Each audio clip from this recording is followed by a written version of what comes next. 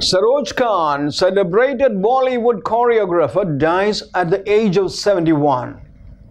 Saroj Khan, one of India's most prominent choreographers, has died at the age of 71. Khan had an illustrious career that stretched four decades and choreographed some of Bollywood's most iconic and popular songs. Her career took off in the late 1980s when she worked on a slew of hit numbers with leading stars like Madhuri Dixit and Sridevi. Khan died of cardiac arrest in hospital in Mumbai city, local media reported. She was admitted to hospital last month after she complained of breathlessness. Indian media reports said she tested negative for COVID-19.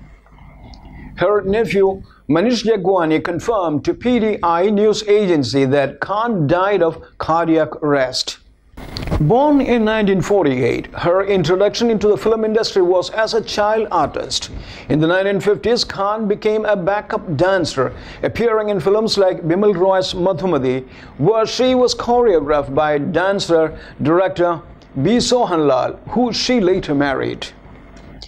From here on, Khan's career evolved into that of an assistant choreographer until 1974 when she got her break in the movie Geeta Mera Naam.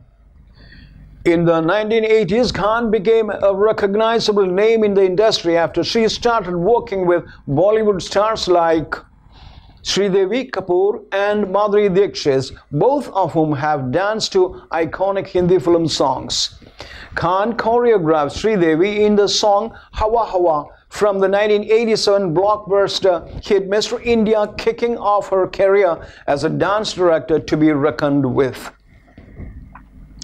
Bollywood took Twitter to mourn Khan's death, with many such as superstar Akshay Kumar and director Kunal Kohli thanking her for her work.